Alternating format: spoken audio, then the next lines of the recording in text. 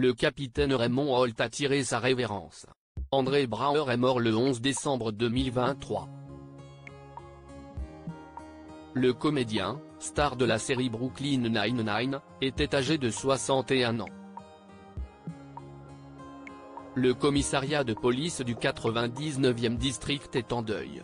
André Brauer, connu pour avoir incarné le capitaine Raymond Holt dans la série Brooklyn Nine-Nine pendant 8 saisons, est mort le lundi 11 décembre 2023 à l'âge de 61 ans. Il est décédé des suites d'une maladie, comme l'a expliqué son agente, Jennifer Allen, au magazine Variety. Marié à l'actrice Amy Brabson, le comédien laisse trois fils derrière lui. Né à Chicago en 1962, André Brown s'était fait connaître en 1989 en participant au film Glory, auprès de Morgan Freeman et Denzel Washington. Il avait emporté un Emmy Award en 1998 pour le rôle de Frank Pambleton dans la série Homicide.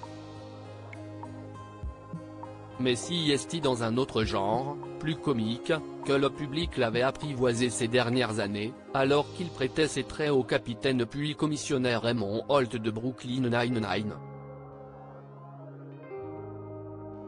Il s'agit d'ailleurs de son tout dernier rôle sur le petit écran.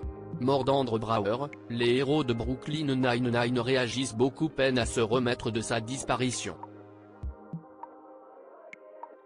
Sur les réseaux sociaux, en Decemberg, Jake Peralta, qui lui donnait la réplique dans le show américain, n'a pas encore réagi à la mort d'Andre Brower. Mais d'autres anciens collègues l'ont fait. Tes douces tonalités vont me manquer, écrit Chelsea Peretti, alias Gina Linetti.